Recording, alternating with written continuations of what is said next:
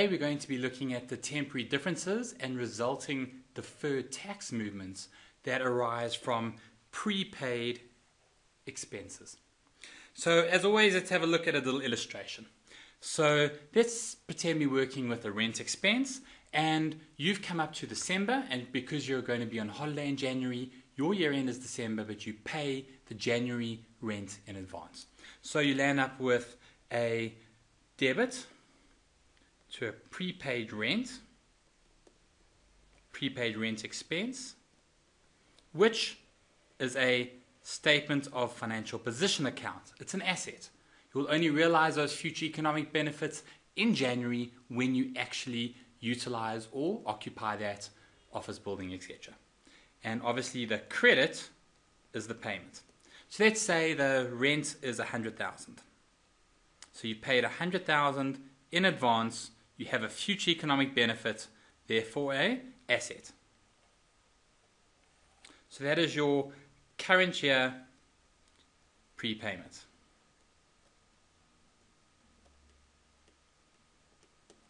Okay, now last year you did the exact same thing. You debit prepaid expense credit bank with 90,000. So what happens in the current year is your prior year prepayment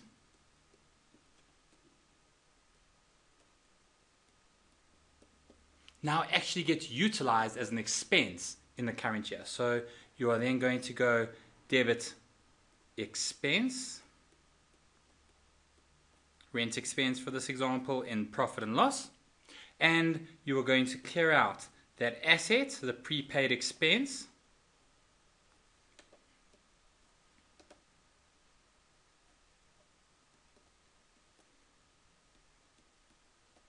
that was in statement of financial position and let's say last year's prepaid expense was 90,000 resulting in a expense in the current year of 90,000 for the January rental. So overall here we need to now look at what does the tax authority look at this scenario as. So for instance in majority of the no, developed and developing worlds your tax authorities work on the earlier of accrual or invoice. Okay, sorry, accrual or cash payment. So over here, you will get the deduction of 100,000 when you make the payment of 100,000.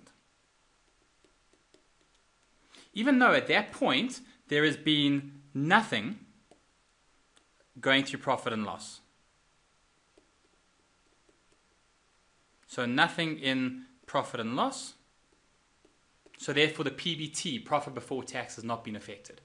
In the following year, however, you now have a deduction. So an expense that will reduce profit before tax. Will the tax authority give you a second deduction? Remember, he gave you that 90,000 deduction last year when you made the payment. At this point, the tax authority will not give you another deduction. That's just right there. No second tax deduction.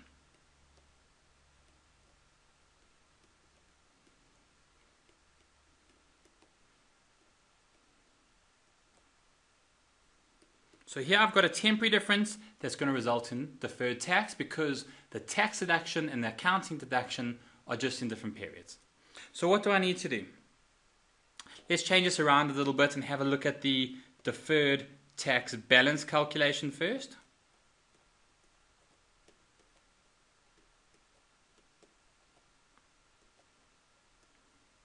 Okay, with the statement of financial position calc. And I'm going to do my normal headings, the carrying amount, the future economic benefits, the tax base, any future tax deductions, the difference between the two, would be my taxable or deductible temporary difference, and that temporary difference will give rise to a deferred tax balance at a 28% tax rate. So let's do our opening balance calc first, and we're going to call that a prepaid expense. Excuse me, abbreviating here, we're running out of space. So the opening balance last year, therefore this year's opening balance was 90,000 as a future economic benefit. Are there any future tax deductions? Remember, the tax base of an asset equals future tax deductions. There are no future tax deductions on this. SARS, or the tax authority, has already given you the tax deduction in the prior year when you made the payment. So that equals nil. Therefore, the tax base is nil. Future income of 90, well, a future benefit of 90 less zero future tax deductions gives me a 90,000 taxable temporary difference, which will give rise to a 25,200 deferred tax liability, a future tax payment. The closing balance for this prepaid expense At the end of the year, I've got 100,000 prepaid expense. Tax base, as explained above, is zero.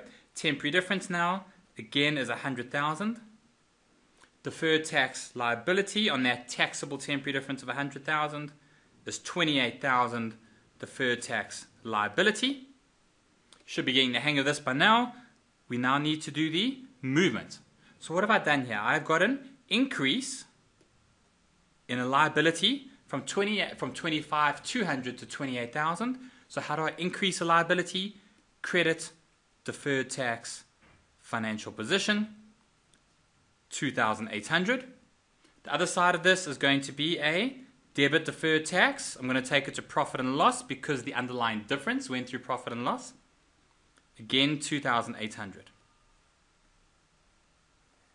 So that's the movement or deferred tax expense.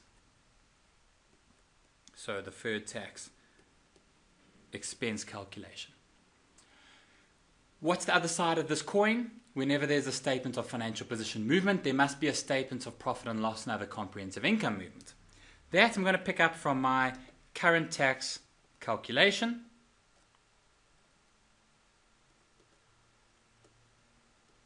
So my current tax comp Always start that with profit before tax. I have not given you that figure, so we'll put some X's in.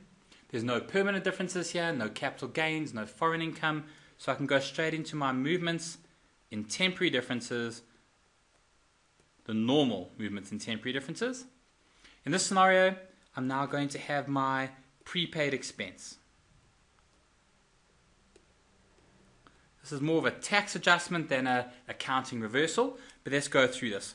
The current year, if you remember my journal, I went debit, prepaid expense, credit, bank. So the current year, the profit and loss effect is zero. There was no expense. It went debit asset, credit asset, debit, prepaid expense, credit, bank.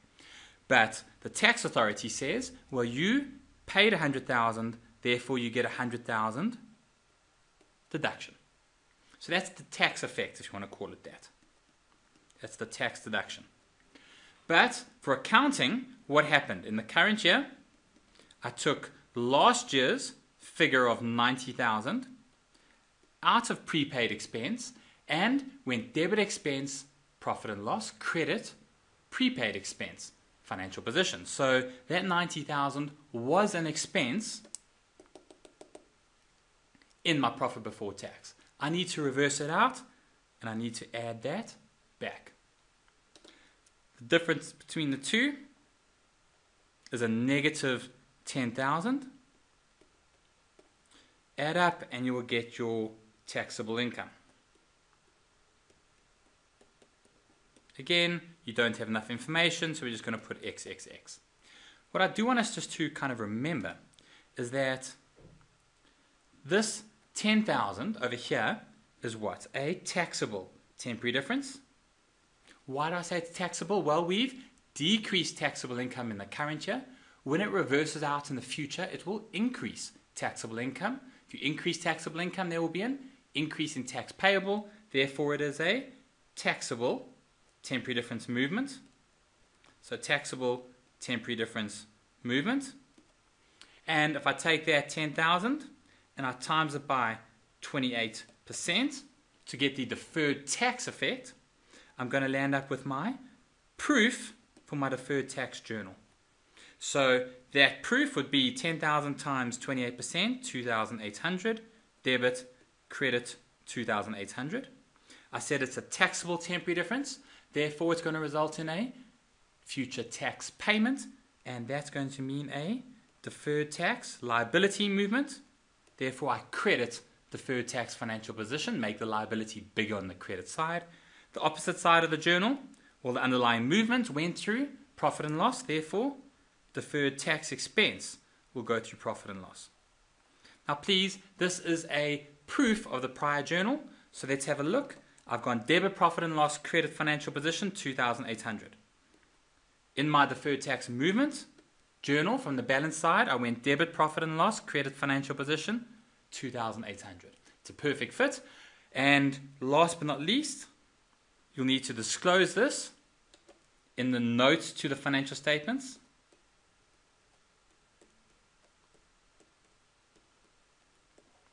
As always, we're going to have our income tax expense note.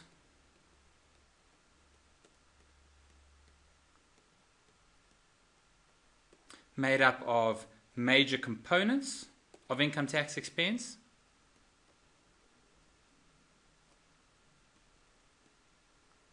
And what are those major components? Those are current tax expense. And current tax expense in this scenario was well, we don't know. We're going to put XXS. And then deferred tax expense. Well, that is going to be my movements in temporary differences normal, which we've just journalized as 2,800. That 2,800, if I go back to my deferred tax movement journal, I debited profit and loss. If I debit deferred tax expense, expenses get bigger on the debit side. So therefore that is a positive in this deferred tax expense note. I would then add up and get my total tax expense. No need for a tax rate recon here because, well, the deferred tax versus the current tax added together both give you profit before tax times 28%.